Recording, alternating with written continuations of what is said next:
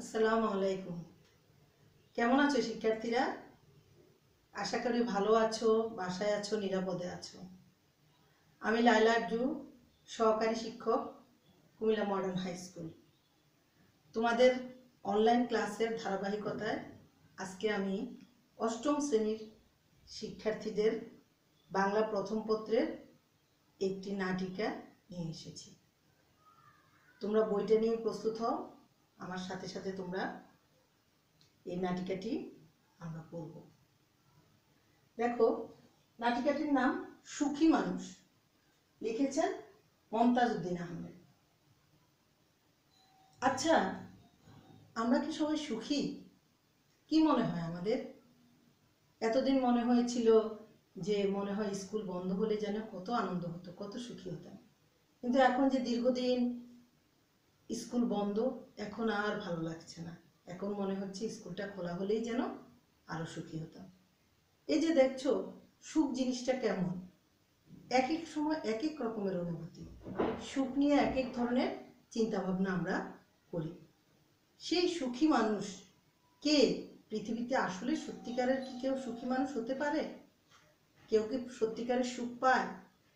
এই কথাগুলো নিয়েই লেখক একটি ছোট্ট নাটিকা করেছেন দুটি দৃশ্যে, সেটা হচ্ছে সুখী মানুষ। এসো আগে লেখক পরিচিতিটা দেখে নেই। ঢাকা বিশ্ববিদ্যালয় থেকে তিনি বাংলা বিভাগ থেকে স্নাতকোত্তর ডিগ্রি অর্জন করেন এবং দীর্ঘদিন বিভিন্ন তারপর অবসর গ্রহণ করেছেন কবে? উনিশশো বিরানব্বই সালে। তার উল্লেখযোগ্য রচনাগুলি দেখো। স্বাধীনতা আমার স্বাধীনতা, রাজা অনুসারের পালা সাতঘাটের কানাকড়ি, আমাদের শহর, তারপরে আছে হাস্য, লাস্য, ভাষ্য, তারপরে প্রবন্ধ গবেষণা আমাদের নাটকের ইত্যাদি ইত্যাদি। তিনি বিভিন্ন ধরনের গল্প, উপন্যাস এবং সরস রচনা লিখেছেন। সাহিত্য অবদানের জন্য তিনি কি কি পুরস্কার পেয়েছেন? শিশু একাডেমি পুরস্কার, বাংলা একাডেমি পুরস্কার, একুশে পদকসহ বিভিন্ন পুরস্কারে, সাহিত্য পুরস্কারে ভূষিত হয়েছেন। এখন এসো আমরা নাটকটাতে চলে যাই। দেখো, এই নাটকটিতে যে দুটি দৃশ্য রয়েছে, নাটকের সেই দৃশ্যে কিছু চরিত্র রয়েছে। নাটিকা বড় নাটকের ছোট রূপ সেটাকে বলা হচ্ছে নাটিকা। আমরা জানি নাটকে দৃশ্য থাকে, বিভিন্ন চরিত্র থাকে বিভিন্ন ঘটনা সেখানে অভিনয় করে দেখানো হয়। আর নাটিকা হচ্ছে ছোট পরিসরে ছোট অল্প চরিত্রের মাধ্যমে, অল্প কয়েকটি দৃশ্যের অবতারণার মাধ্যমে যে নাটক করা হয় সেটাকে বলা হচ্ছে নাটিকা। এখানে দুটি দৃশ্য রয়েছে এবং এই সুখী মানুষ নাটিকাতে যে চরিত্রগুলো রয়েছে, আমরা সেই চরিত্রগুলো এখন দেখি। দেখো, চরিত্র পরিচিতি। মোড়ল পঞ্চাশ বছর। কবিরাজ, ষাট বছর। হাসু, পঁয়তাল্লিশ। রহমত, বিশ। লোক, চল্লিশ। তাহলে এদের বছর, বয়স সম্পর্কে আমরা জানলাম। এসো আমরা এখন এই সুখী মানুষ নাটিকাটি পাঠ করে দেখব। প্রথম যে দৃশ্যটা, সেটাতে আমরা কি দেখি? মোরলের অসুখ। বিছানায় শুয়ে ছটপট করছে। কবিরাজ মোরলের নারী পরীক্ষা করছে। মোরলের আত্মীয় হাসুমিয়া আর মোরলের বিশ্বাসী চাকর রহমত আলী অসুখ নিয়ে কথা বলছে। দেখো, প্রথমে কি দেখি আমরা? হাসু কথা বলছে। কি বলছে? রহমত? ও রহমত আলী, রহমত শুনছি। হাসু, ভালো করে শোনো। ওই কবিরাজ যতই নারী দেখুক, তোমার মোরলের নিস্তার নেই। রহমত, অমন ভয় দেখাবেন না, তাহলে আমি হাউমাউ করে কাঁদতে লেগে যাব। হাসু, কাঁদো, মন উজাড় করে কাঁদো। তোমার মোরল একটা কঠিন লোক, আমাদের সুবর্ণপুরের মানুষকে বড় জ্বালিয়েছে। এর গরু কেড়ে নিয়ে তার ধান লুট করে তোমার মোরল আজ ধনী। মানুষের কান্না দেখলে হাসে। রহমত, তাই বলে মোরলের ব্যায়াম কি ভালো হবে না? হাসু বলছে, হবেই না তো। মোরল যে অত্যাচারী, পাপি মনের মধ্যে অশান্তি থাকলে ওষুধে কাজ হয় না। দেখে নিও মোরল মরবে। রহমত, আর আজে বাজে কথা বলবেন না। আপনি বাড়ি যান। কবিরাজ, এত কোলাহল করো না। আমি নারীর, রুগীর নারী পরীক্ষা করছি। রহমত, ও কবিরাজ, নারী কি বলছে? মোরল বাঁচবে তো? কবিরাজ, মূর্খের মতো কথা বলো না। মানুষ এবং প্রাণী অমর নয়। আমি যা বলি মনোযোগ দিয়ে তা শ্রবণ করো। হাসু, আমাকে বলুন মোরল আমার মামাতো ভাই। রহমত, মোরল আমার মনিব। কবিরাজ, এই নিষ্ঠুর মোরলকে যদি বাঁচাতে চাও, তাহলে একটি কঠিন কর্ম করতে হবে। হাসু বাঘের যোগ আনতে হবে। কবিরাজ বলছে আরও কঠিন কাজ। রহমত, হিমালয় পাহাড় তুলে আনব? কবিরাজ, পাহাড়, সমুদ্র, চন্দ্র, নক্ষত্র কিছুই আনতে হবে না। মোড়ল আর সহ্য করতে পারছি না। জ্বলে গেল, হাড় ভেঙে গেল, আমাকে বাঁচাও। কবিরাজ, শান্ত হও। ও মোড়ল ও রহমত মোড়লের মুখে শরবত ঢেলে দাও। তখন রহমত কি করছে? মোরলকে শরবত দিচ্ছে। হাসু, এই মোড়ল জোর করে আমার মুরগি জবাই করে খেয়েছে। আমি আজ মুরগির দাম নিয়ে ছাড়বো। হাসু যে মোরলের আত্মীয় সেই কথাটা বলছে। দেখো, এই প্রথম দৃশ্যে আমরা কি দেখতে পাচ্ছি? যে মোরল অসুস্থ, তার আত্মীয় এবং তার রহমত, যে চাকর, তারা কথা গোপন করছে, কবিরাজ তার নারী দেখছে এবং তার চিকিৎসার ব্যাপারে আলাপ করছে। মোড়ল এই হাসু, এদিকে এসো। আমি সব দিয়ে দিব, আমাকে শান্তি এনে দাও। মোড়ল এখন কি বলছে? হাসুকে বলছে, আমি সব দিয়ে দিব, আমাকে শান্তি এনে দাও। কবিরাজ মোড়ল তুমি কি আর কোনোদিন মিথ্যা কথা বলবে? মোড়ল আর বলব না। এই তোমার মাথায় হাত রেখে প্রতিজ্ঞা করছি। আর কোনোদিন মানুষের উপর জবরদস্তি করব না। আমাকে ভালো করে দাও। কবিরাজ, লোভে পাপ, পাপে মৃত্যু। আর কোনোদিন লোভ করবে? কবিরাজ মোড়ল না, লোভ করব না, অত্যাচার করব না, আমাকে শান্তি দাও, আমাকে সুখ দাও। তাহলে মোড়ল কি করছে? সে শান্তি আর সুখ খুঁজে বেড়াচ্ছে। কবিরাজ, তাহলে মনের সুখে শুয়ে থাকো, আমি ওষুধের কথা চিন্তা করি। মোড়ল সুখ কোথায় পাবো? আমাকে সুখ এনে দাও, হাসু। অন্যের মনে দুঃখ দিলে কোনো দিন সুখ পাবে না। মোড়ল আমার কত টাকা, কত কত বাড়ি, আমার মনে দুঃখ কেন? কবিরাজ, চুপ করো। যত কোলাহল করবে, তত দুঃখ বাড়বে। হাসু, এদিকে এসো, আমার কথা শ্রবণ করো। মোড়লের ব্যায়ামও ভালো হতে পারে, যদি? রহমত বলল, যদি কি? কবিরাজ, যদি আজ রাত্রের মধ্যেই হাসু, কি করতে হবে? কবিরাজ, যদি একটা ফতুয়া সংগ্রহ করতে পারো। রহমত, ফতুয়া? কবিরাজ হ্যাঁ জামা। এই জামা হবে একজন সুখী মানুষের। তার জামাটা মোরলের গায়ে দিলে তৎক্ষণাৎ তার হাড় মর মর রোগ ভালো হবে। রহমত, এ তো খুব সোজা ওষুধ। কবিরাজ, সোজা নয়, খুব কঠিন কাজ। যাও, সুখী মানুষকে খুঁজে দেখো। সুখী মানুষের জামা না হলে অসুখী মোড়ল বাঁচবে না। মোড়ল, আমি বাঁচবো, আমাকে জামা এনে দাও, হাজার টাকা বকশিস দেবো। তাহলে এই এতটুকু পর্যন্ত প্রথম দৃশ্যে আমরা দেখলাম, মোড়ল তার বাঁচার আকুতি নিয়ে, তার অসুখ নিয়ে চিৎকার চেঁচামেচি করছে এবং হাসুকে বলছে, তাড়াতাড়ি তার জন্য সুখী মানুষের দেখলাম যে মোড়ল তার রোগমুক্তির জন্য যত ইচ্ছে খরচ করতে প্রস্তুত, সে হাজার টাকা দিবে সুখী মানুষের জামার জন্য। এবং এটাই সে বলছে। এবার এসো আমরা দ্বিতীয় দৃশ্যে চলে যাই।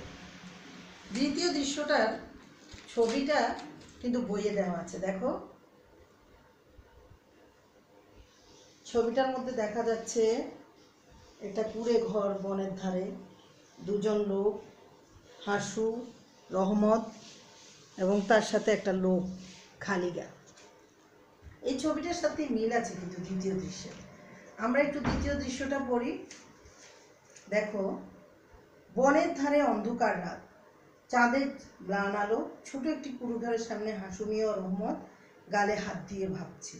রহমত, কি তাজ্জব কথা। পাঁচ গ্রামে একজন সুখী মানুষ পেলাম না। যাকেই ধরি সে বলে, না ভাই, আমি সুখী নই। হাসু আর তো সময় নাই ভাই। এখন বারোটা। সুখী মানুষ নাই। সুখী মানুষের জামাও নাই। মোড়ল তো তাহলে আবার মরবে। রহমত, আহারে, আমরা এখন কি করব? কোথায় একটা মানুষ পাবো যে কিনা? হাসু, পাওয়া যাবে না। সুখী মানুষ পাওয়া যাবে না। সুখ বড় কঠিন জিনিস। এ দুনিয়াতে ধনী বলছে আরও ধন দাও, ভিখারি বলছে আরও ভিক্ষা দাও, পেটুক বলছে আরও খাবার দাও। শুধু দাও আর দাও। সবাই অসুখী। কারও সুখ। নেই রহমত, আমরাও বলছি মোরলের জন্য জামা দাও, আমাদের বকশিস দাও, আমরাও অসুখী হাসু, চুপ চুপ। ঘরের মধ্যে কে যেন কথা বলছে। রহমত ভূত নাকি চলো, পালিয়ে যাই। ধরতে পারলে মাছ ভাজা করে খাবে। হাসু, এই যে ভাই, ঘরের মধ্যে কে কথা বলছে? বেরিয়ে এসো। রহমত, ভূতকে ডাকবেন না। ঘর থেকে একজন লোক বেরিয়ে এলো। লোক, তোমরা কে ভাই? কি চাও? হাসু, আমরা খুব দুঃখী মানুষ। তুমি কে? লোক, আমি একজন সুখী মানুষ। হাসু হ্যাঁ? তোমার কোনো দুঃখ নাই? লোক, না। সারাদিন বনে বনে কাঠ কাটি, সেই কাঠ বাজারে বেচি। যা পাই তা দিয়ে চাল কিনি, ডাল কিনি, মনের সুখে খেয়ে দে গান গাইতে গাইতে শুয়ে পড়ি। এক ঘুমেই রাত কাবার। হাসু, বনের মধ্যে একলা করে তোমার ভয় করে না? যদি চোর আসে? লোক, চোর আমার কি চুরি করবে? হাসু তোমার সোনাদানা জামা জুতো লোকটি প্রাণ খোলা হাসি হাসছে। রহমত হাহা করে পাগলের মতো হাসছো কেন ভাই? লোক তোমাদের কথা শুনে হাসছি। চোরকে বলব? তখন বলব, নিয়ে যাও। আমার যা কিছু আছে নিয়ে যাও।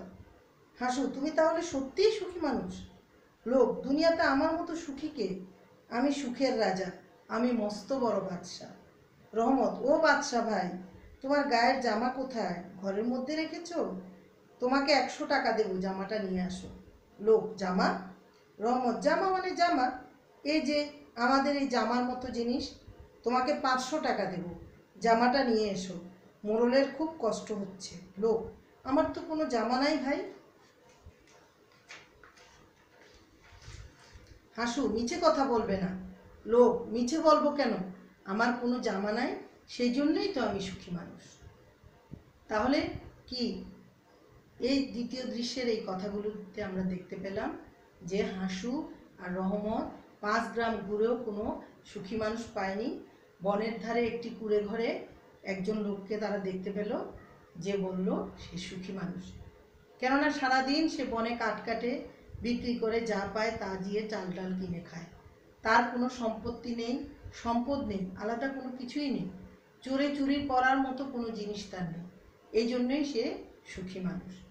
তাহলে এই নাটিকাটিতে আমরা দেখলাম, সুখ যে বিষয়, এই সুখ বিষয়টা আপেক্ষিক। অনেকের অনেক থেকেও কেউ সুখী হতে পারে না, আবার অনেকের কিছু না থাকলেও সুখী হতে পারে। দেখো, লেখকের বক্তব্য কিন্তু খুবই স্পষ্ট। সম্পদেই, তিনি বলেছেন যে সম্পদে অশান্তির মূল কারণ। সুখ একটা আপেক্ষিক ব্যাপার। একজনের অনেক সম্পদ থেকেও সুখ নেই, আবার আরেকজনের কিছু না থাকলেও সে সুখী হতে পারে। তাহলে এই গল্পটিতে আমরা দেখলাম মোড়ল তার সুখ কেনার জন্য এক হাজার টাকা বকশিস দিবে বলে। এদিকে হাসু এবং রহমত প্রথমে ওই লোকটিকে একশো টাকা দিবে বলে, তারপর পাঁচশো টাকা দেবে বলে। কিন্তু শেষ পর্যন্ত দেখা যায় আসলে লোকটির কোনো জামাই ছিল না। তো এখানে আমরা দেখতে পাই, সুখী হওয়ার জন্য আসলে প্রকৃতপক্ষে সুখী মানুষের জামা লাগে না। মানুষকে যদি কেউ অত্যাচার না করে, মানুষ যদি ভালো হয়, পরোপকারী হয়, তাহলেই মানুষ সুখী হতে পারে। আর মোরলের মতো অত্যাচারী যে অন্যের সম্পদ লুণ্ঠন করেছে, মানুষকে কষ্ট দিয়েছে, সে কখনোই সুখী হতে পারে না। তাহলে আসো, আমরা সুখী সুখী মানুষ, নাটিকার কিছু প্রশ্ন নিয়ে আলোচনা করি। দেখো এখানে, হাসু মোরলের মৃত্যু কামনা করে কেন? একটা অনুধাবনমূলক প্রশ্ন আছে। হাসু কেন মোরলের মৃত্যু কামনা করছে? কেননা হাসু যদিও মোরলের আত্মীয়, মোরল তার মুরগি চুরি করে খেয়েছে। এবং গ্রামের অন্যান্য মানুষেরও মোরল কি করে? তাদের জমি জমা, অর্থ সম্পত্তি চুরি করেছে, অন্যায়ভাবে গ্রাস করেছে। এই জন্য মোরল তার মৃত্যু কাম হাসু মোরলের মৃত্যু কামনা করে। এখানে আরেকটা অনুধাবনমূলক প্রশ্ন আছে, দেখো। হাসু মোরলের আত্মীয় হওয়া সত্ত্বেও তার অকল্যাণ কামনা করে কেন? একই ধরনের দুইটা প্রশ্নই দেখো, আমাদের বইয়ে যে দুইটা আছে। হাসু মোরলের আত্মীয় হওয়া সত্ত্বেও মোরলের অত্যাচারী মোরলের অকল্যাণ কামনা করছে, কারণ কেননা মোরল অত্যাচারী। সে মানুষকে কখনোই মানুষকে শান্তি থাকতে দেয়নি। সুবর্ণপুরের গ্রামের মানুষকে শান্তিতে থাকতে দেয়নি সবাইকে অত্যাচার করেছে মানুষের সম্পদ অন্যায়ভাবে গ্রাস করেছে। এই জন্য হাসু মোরলের আত্মীয় হওয়া সত্ত্বেও মোরলের কল্যাণ কামনা করেছে। তারপর দেখো, কিছু প্রশ্ন আসতে পারে। সুখী মানুষের জামা নেই কেন? এ ধরনের একটা প্রশ্ন আসতে পারে।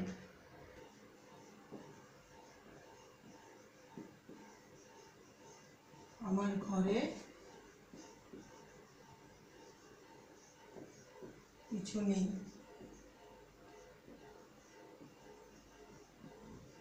এই জন্যই তো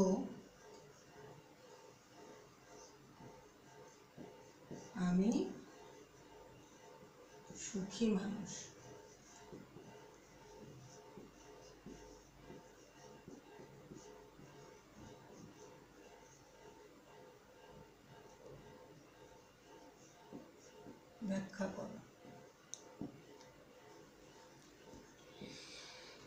তারপর হতে পারে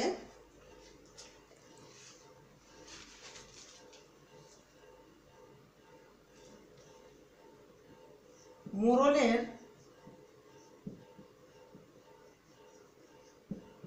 অসুখটা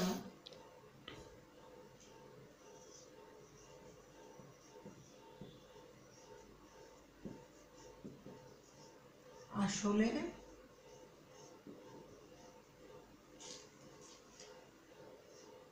আসলে কিসের অসুখ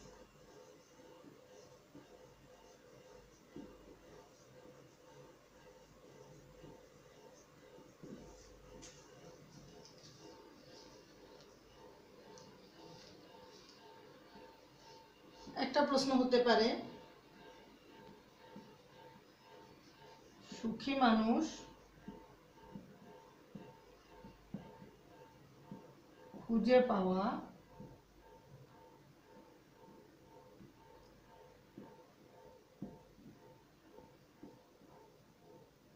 কঠিন কেন? তাহলে এই ধরনের প্রশ্নগুলোই তোমরা দেখতে পারো, ছোট ছোট প্রশ্ন মাধ্যমে সম্পূর্ণ নাটিকাটিকে তোমরা বুঝতে পারো। এই সুখী মানুষ নাটিকাটিতে যে কথাগুলো রয়েছে, যে বিষয়বস্তু, নাটিকার চরিত্রগুলোর মধ্য দিয়ে যে বিষয়টি ফুটে উঠেছে সুখ নিয়ে মানুষের চিন্তা ভাবনা এবং প্রকৃত সুখী হতে হলে কি করতে হবে? এবং অসুখী কেন? মোরল কেন অসুখী? পৃথিবীর মানুষ কেন অসুখী? এই বিষয়গুলো কিন্তু এই নাটিকার মধ্যে ফুটে উঠেছে। তাহলে তোমরা এই প্রশ্নগুলো বাসায় একটু দেখে লেখার চেষ্টা করবে। স্কুল খুললে আমি তোমাদের প্রশ্নগুলো দেখব।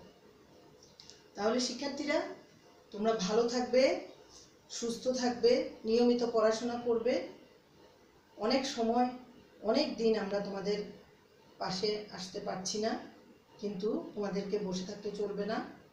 তোমরা তোমাদের সিলেবাস অনুসারে বার্ষিক পরীক্ষার সিলেবাসটা দ্রুত শেষ করে নাও, পড়াগুলো শেষ করে নাও। নিজে দায়িত্বশীল হয়ে এই মহামারী করোনা মহামারীর সময় নিজেকে দায়িত্বশীল হতে হবে এবং নিজের ভালোর জন্য নিজেকে তৈরি করতে হবে, সেভাবে আমাদেরকে তৈরি করতে হবে, গঠন করতে হবে। ভালো থাকবে, সুস্থ থাকবে। আল্লাহ হাফিজ।